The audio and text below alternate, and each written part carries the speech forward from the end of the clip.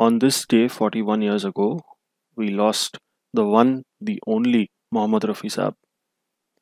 However, 41 years later, his voice and his songs continue to mesmerize us in ways no other songs can.